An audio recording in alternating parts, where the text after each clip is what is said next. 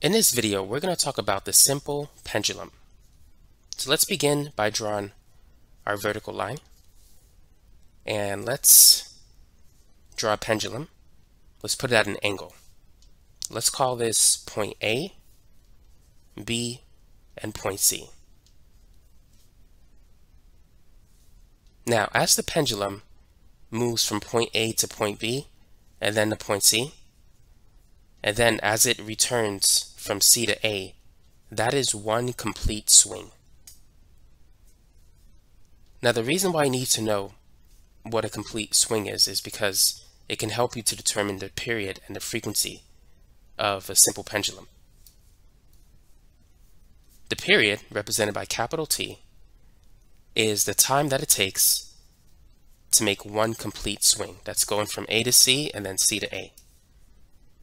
You can also calculate the period by taking the time and dividing by the number of cycles, or the number of complete swings. So the period is measured in units of seconds.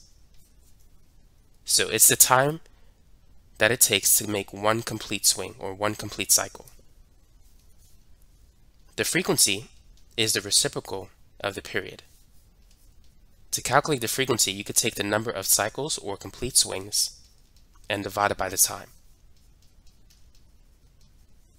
The unit of frequency is the reciprocal of the second. It's one over seconds or equivalently hertz. So make sure you understand that the period is the time it takes to make one complete cycle, whereas the frequency is the number of cycles that occurs in one second.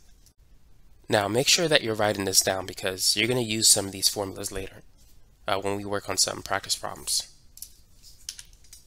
Now in addition to the formulas that we have on the board, there's some other formulas that you may want to add to your list. L is the length of the, the pendulum. The period depends on the length of the pendulum.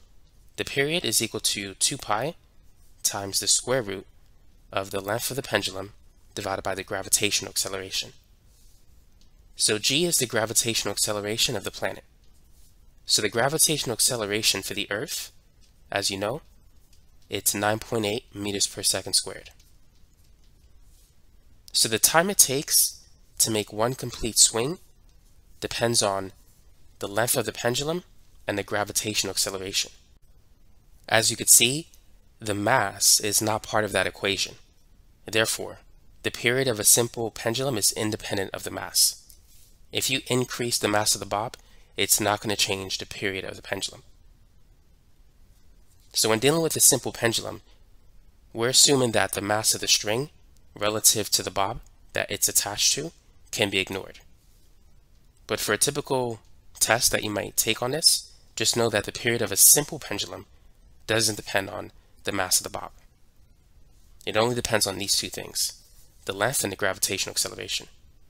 Now, since L is on top of that fraction, increase in L will increase the period. That means that as you increase the length of the string, the time it takes for the bob to go from A to C and then C to A, and that time is going to increase.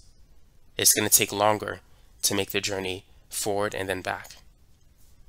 Now, if you increase the gravitational acceleration, let's say if you brought the pendulum to a planet where the gravity is stronger, the period is going to decrease. Because g is in the denominator of that fraction, there's an inverse relationship between g and t.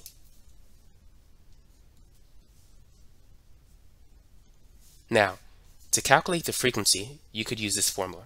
The frequency is 1 over 2 pi times the square root of g over L. So since L is on the bottom, as you increase L, the frequency decreases. So the frequency, the number of cycles that occur in one second, or the number of complete swings that the pendulum makes in a single second, that's inversely related to the length of this, the pendulum. But if you increase the gravitational acceleration, the frequency is going to go up. So if the period goes up, the frequency goes down. And if the period goes down, the frequency goes up. So frequency and period, they're inversely related. Now let's work on some practice problems. What is the period and frequency of a simple pendulum that is 70 centimeters long on the Earth and on the Moon? So let's begin with a picture. So here is our pendulum and we're, we're given the length of the pendulum. It's 70 centimeters long, but we want to convert that to meters. So we know that 100 centimeters is equal to a meter. So to convert from centimeters to meters, simply divide by 100. And so the length is going to be 0.70 meters.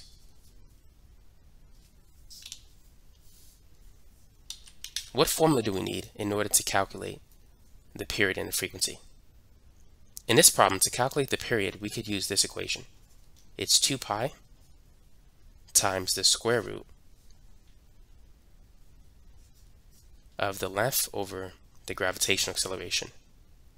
Now on the Earth, we know what the gravitational acceleration is. g is 9.8. So now we just got to plug in everything into this formula. So it's going to be 2 pi times the square root of 0.7 meters divided by 9.8 meters per second squared. So looking at the units, the unit meters will cancel. And then when you take the square root of s squared, is going to become s eventually. And so the period is going to be in seconds. Now let's go ahead and plug this in.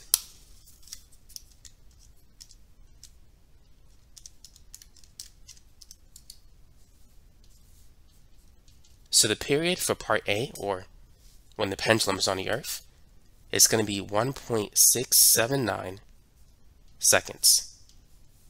Now we need to calculate the frequency.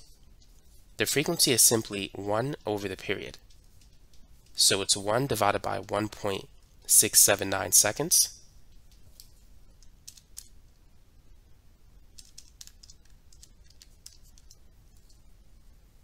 And you're going to get 0 five nine five six and then this is in it's going to be seconds to the minus one or hertz so that's the frequency for the first part that is when the pendulum is on the earth now let's move on to the next part so what about if the pendulum is on the moon what will be the period of the simple pendulum now the gravitational acceleration on the moon is about 1.6 meters per second squared.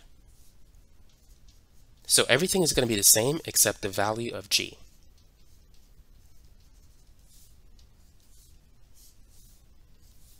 So g is going to be 1.6 instead of 9.8.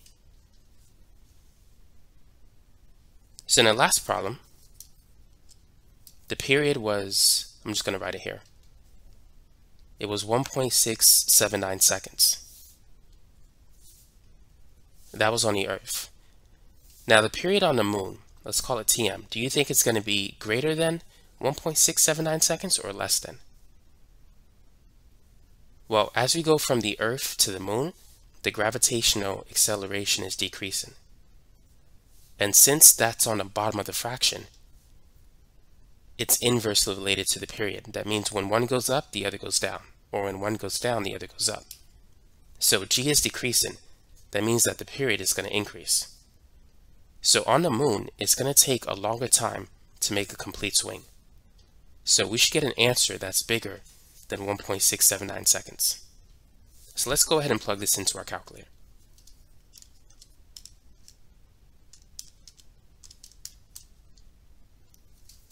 So this is going to be 4.16 seconds.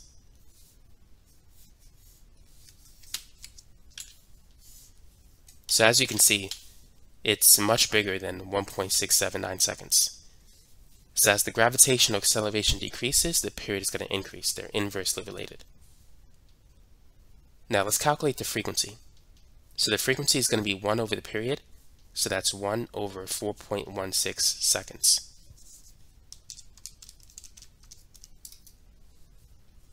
And that's going to be 0.24 hertz. So that's the frequency of the pendulum on the moon. Let's move on to our next problem. A pendulum makes 42 cycles in 63 seconds. What is the period and frequency of the pendulum? The period is going to be the time divided by the number of cycles. So we have 42 cycles occurring in a time period of 63 seconds. So if we take 63 divided by 42, or 63 seconds divided by 42 cycles, we get that there's 1.5 seconds per cycle. So the time that it takes to make one complete cycle is 1.5 seconds. So thus we could say that the period is 1.5 seconds. So that's the answer for the first part of part A. So now we can calculate the frequency. The frequency is 1 over the period, so it's 1 over 1.5 seconds. And you're going to get 0.6 repeating, which we could round that to 0.67. And you could say the units are seconds to the minus 1 or hertz. So what this means is that there's 0.67 cycles that are occurring every second. So the units here, it's really technically one cycle divided by 1.5 seconds. And so you get 0.67 cycles per second. So that's what the frequency in hertz is telling you, is the number of cycles that are occurring every one second. Now what about part B? What is the length of the pendulum on Earth? So let's clear away a few things and let's just rewrite the first two answers that we had. So how can we calculate the length of the pendulum when it's on the Earth? Well, let's start with this formula. T is equal to 2 pi times the square root of L over G. We have the period, and we know the gravitational acceleration of the Earth. We just need to isolate L in this equation. So let's do some algebra. Let's square both sides of the equation. So on the left, it's going to be t squared. 2 pi squared is going to be 2 squared is 4, and then pi times pi is pi squared. And then when we square root, I mean, when we take the square of a square root, both the square and the square root will cancel. And so we're just going to get L over G. Now we need to get L by itself. So we're going to multiply both sides by G and then divide by 4 pi squared. By doing this, on the right side, we can cancel G, and we can also cancel 4 pi squared. So we're just going to get L on the right side. So we could say that L is equal to everything that we see here. So the length of the pendulum is going to be the gravitational acceleration g times the square of the period divided by 4 pi squared. So that's the formula that we can use to get the length of the pendulum. Now let's go ahead and plug everything in. And let's write the units as well. So g is going to be 9.8 meters per second squared. And then we're going to multiply that by the square of the period. So that's 1.5 seconds squared. And then let's divide that by 4 pi squared, which doesn't contain units. So we can see that second squared will cancel with s squared here. And so L is going to be in meters. So let's plug in 9.8 times 1.5 squared divided by, now you want to put this in parentheses, otherwise your calculator will divide by 4 and then multiply by pi squared. And you'll get a different answer. So let's divide by 4 pi squared in parentheses, and you should get 0.5585 meters. So this is the length of the pendulum on Earth that has these features. If you are transported to an unknown planet where the gravity of that planet is different from the Earth, how can you determine the gravitational acceleration of that planet? Well, this problem will help you to see how. All you need is a simple pendulum. If you know the length of the pendulum and how many swings that the pendulum make in a given time period, you have all that you need to calculate or even estimate the uh, gravitational acceleration of that planet. So let's work on this problem. The first thing we need to do is calculate the period. The period is going to be the time divided by the number of cycles.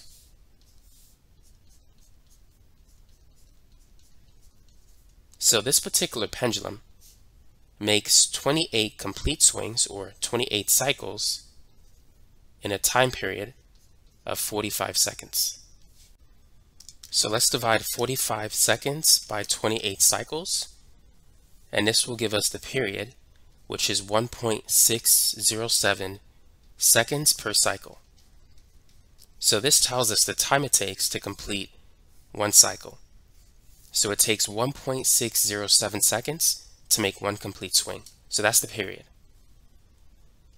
Now that we know the period, we could use this formula to calculate the gravitational acceleration. But we need to rearrange that formula. So like we did last time, let's go ahead and square both sides of this equation. So we're going to get t squared is equal to 4 pi squared and the square root symbol will disappear. So it's going to be times L over G. Now we need to get G by itself. So let's multiply both sides by G over T squared. So the left side I'm going to multiply by G over T squared. On the right side, G is going to cancel. On the left side, T squared is going to cancel. So the only thing that we have on the left side is G.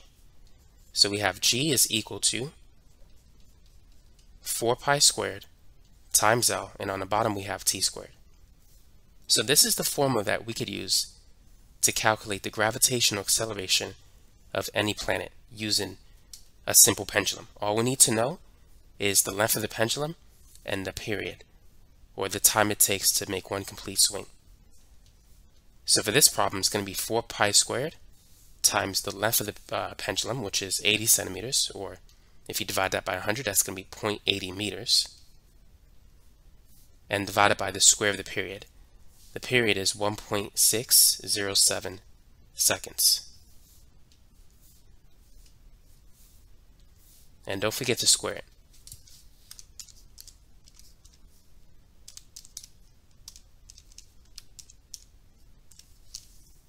So the answer is 12.2 meters per second squared.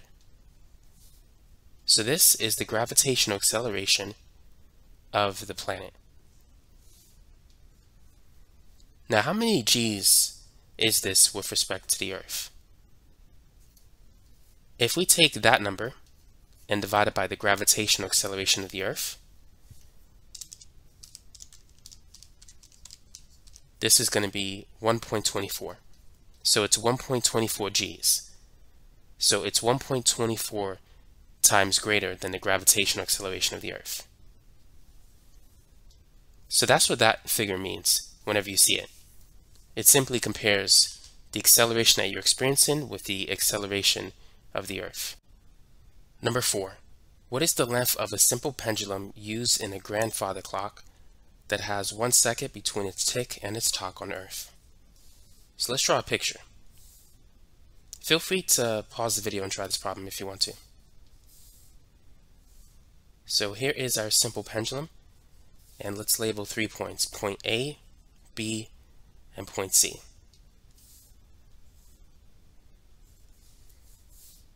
Actually, let's get rid of that. So it's going to take one second for the grandfather clock to go from A to C, where it's going to make the first noise, its tick noise. Then it's going to take another second for it to go from C to A, where it's going to make the talk noise. So it's like tick tock, tick tock, and it just oscillates between A and C. So what you need to realize is that the period is not one second, but two seconds. It takes two seconds to make a complete swing. The one second is just, it's half of a cycle. It's going from A to C, but doesn't include the return trip. So the period for a grandfather clock is two seconds. So with that information, we can now calculate the length of the simple pendulum that is in the grandfather clock. And so we're going to use this formula. L is equal to gt squared divided by 4 pi squared. So on Earth, G is 9.8. The period for the grandfather clock is 2 seconds, and then divided by 4 pi squared. And let's put that in parentheses as well.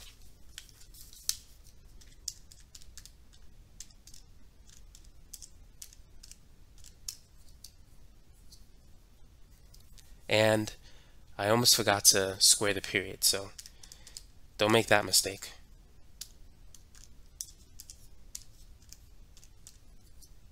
So the answer is going to be 0.993 meters. So that, that's the length of the grandfather clock given a period of 2 seconds. Number 5. A certain pendulum has a period of 1.7 seconds on Earth. What is the period of this pendulum on a planet that has a gravitational acceleration of 15 meters per second squared. Well, in order to calculate the period, we can use this formula. It's 2 pi times the square root of L over G. But let's write down what we know in this problem and what we need to find. So the period on the Earth, let's call it T1. That's 1.7 seconds. Now we know that the gravitational acceleration on the Earth we'll call that G1, is 9.8 meters per second squared. We wish to calculate the new period on some other planet, T2, and we're given the gravitational acceleration of that planet, which is 15 meters per second squared. So we have T1 and G1. How can we calculate T2 if we know G2? Well, let's make a ratio of this equation. We're going to divide T2 by T1. So if t is equal to what we see here, t2 is going to be 2 pi square root L over G2. Now the reason why I didn't write L2 over G2 is because L doesn't change. We're dealing with the same pendulum that was on the Earth that is now in this new planet. So therefore L is constant. We don't need to change the subscript for L. Only G and T changes. So T1 is going to be 2 pi times the square root of L over G1. So we can cross out 2 pi and we can cancel L.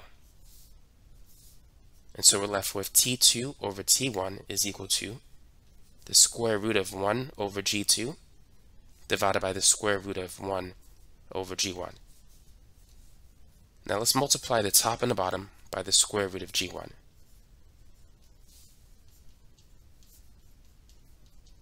Doing so will give us a 1 in the denominator. So it's going to be the square root of, this is 1 times g1. So we'll have g1 on the top. g2 is going to stay on the bottom. And then this simply becomes 1. The square root of 1 is 1. So we could say that t2 over t1 is equal to the square root of g1 over g2. And then finally, we can multiply both sides by t1 to cancel this. So we have this equation. The second period, t2, is going to equal the first period times the square root of g1 over g2.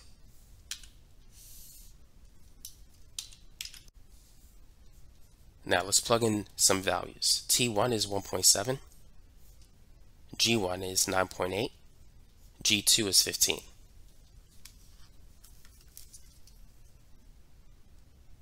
So 1.7 times the square root of 9.8 over 15, that's going to be 1.37 seconds. So that's the new period. So as we could see, we increased the gravitational acceleration from 9.8 to 15. And because g is on the bottom, it's inversely related to t. So as we increase g, the period decreased. It went from 1.7 to 1.37 seconds. So these two are inversely related. Number 6. The period of a simple pendulum with mass m is t. Which of the following expressions represent the period of a simple pendulum with mass 2m? Well, if we write the formula for the simple pendulum, notice that it doesn't depend on the mass. So if we change the mass from m to 2m, it's not going to change the period. The period was initially t, it's going to remain t. So for a simple pendulum, the period is independent from the mass. It doesn't change with the mass. So the answer is going to be D. There's no change.